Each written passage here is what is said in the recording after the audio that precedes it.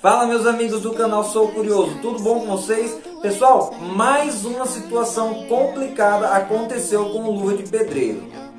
E ele mais uma vez fez um stories revoltado com a situação, a qual ele conta que hackearam o WhatsApp dele, um WhatsApp que quem fez foi o ex-empresário dele aí, Alan Jesus.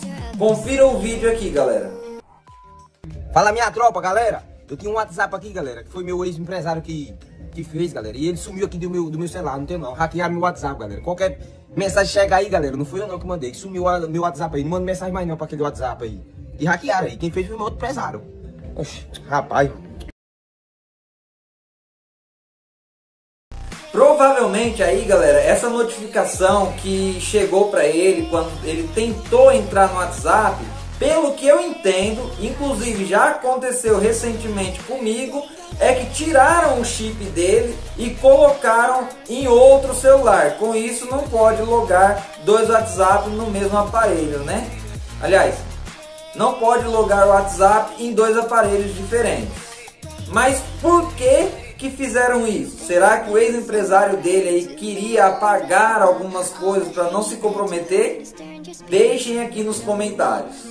E galera, já faz um favor por mim. Se vocês puderem me ajudar se inscrevendo no meu canal, sou curioso, ativando o sininho de notificação, deixando o like, né? Galera, vai me deixar muito feliz aí, vai ajudar muito o canal. E se vocês não fizerem isso, já vou logo avisando aí que eu vou conversar com o Alan Jesus, aí, o ex-empresário do Luva de Pedreiro, para ele hackear a conta de vocês aí também, tá certo? É zoeira, galera, é zoeira. Mas se inscreve no canal aí, sou curioso aí pra me ajudar, tá certo? Pois é, meus amigos, como se já não bastasse, Irã Ferreira aí, o Luva de Pedreiro, voltou nas redes sociais mais tarde, indignado de novo, porque dessa vez ele perdeu o acesso ao TikTok dele, né? Então ele se revolta aí mais uma vez com seu ex-empresário. Agora, galera, imagina aí você entrar nas suas redes sociais, principal, né? E não conseguir entrar aí por ter acesso negado. Isso aí, galera, é revoltante. Nossa, gente que acontece isso com a gente, a gente fica aí sem saber o que fazer, né? Pois é, né? Aconteceu isso aí com o Luva de Pedreiro. Confira o vídeo dele aqui, revoltado novamente. Fala minha tropa, galera. Aí é esculambação aí, galera. Fala a verdade. Eu não tô nem mexendo no meu TikTok, pô. Tu tá pedindo senha que tiraram meu TikTok agora. Só tinha meu TikTok, só a senha lá, o pessoal lá, meu, meu ex-empresário lá. Aí não, é esculambação aí, parceiro. É esculambação aí. Pô, eu comecei no TikTok foi sozinho, Deus. Todo mundo sabe aí. Oxi. Bom, pessoal, eu não sei dizer se o Luva de Pedreiro conversou aí com o ex-empresário, né? Sobre é, tentar recuperar suas contas através do e-mail.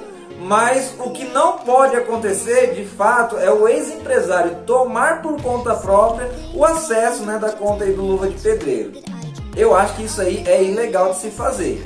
Não sei o motivo que levou o Alan Jesus a fazer isso aí, mas espero que seja resolvido aí de uma melhor maneira possível. Bom, pessoal, isso aí já virou uma novela. Luva de Pedreiro e o Alan Jesus virou novela. E com certeza a gente vai ver muito mais cenas como essa pra gente poder acompanhar. E se aparecer mais alguma coisa, estou muito atento para não deixar vocês perder nada. Então é isso, galera. O vídeo de hoje é esse. O Luva de Pedreiro mais uma vez aí revoltado.